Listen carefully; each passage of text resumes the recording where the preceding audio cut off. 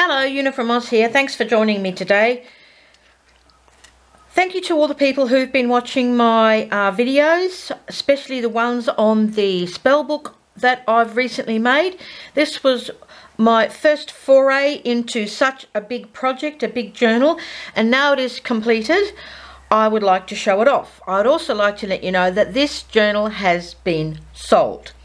Sold to a local lady who took one look at it and fell in love with it. She even purchased it before I'd finished it. So here is a flick through of my nice spell journal.